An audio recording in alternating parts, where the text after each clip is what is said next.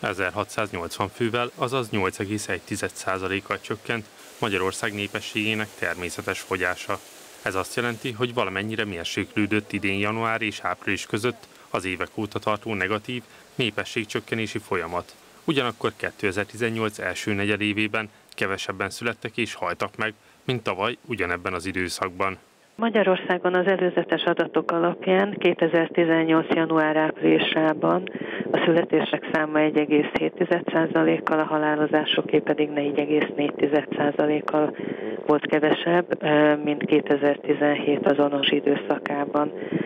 Számszerűen ez 28.476 újszülöttet és 47.412 elhunytat jelentett. A megyében ugyan mérséklődött a népesség természetes fogyása, de még így is csökkent a lakosság száma. Szabolcs-Szatmár megyében 1376 gyermek született, ez 5,4%-kal volt kevesebb az előző év azonos időszakához képest, még ugyanezen idő alatt 1898-an hunytak el, ami egy 4%-os csökkenést jelentett a tavalyi évhez képest.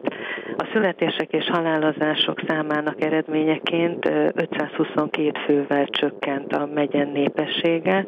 Ez nagyságrendileg hasonló volt az előző évi értékhez.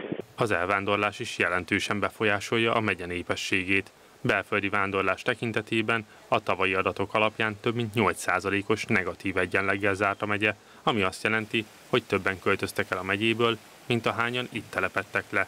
A külföldi vándorlási adatok tekintetében már pozitív volt az egyenleg 2017-ben, azaz a külföldről a megyébe költözők száma meghaladta az innen külföldre vándorlók számát, ami a határok közelségének is köszönhető. A csökkenő népesség ellenére a főváros nem számítva Szabolcs-Szatmár-Bereg megye, Pest és Borsod-Abaúj-Zemplén megye után a harmadik legnépesebb megye 2018. január 1-én 558.361 fő volt a lakosok száma.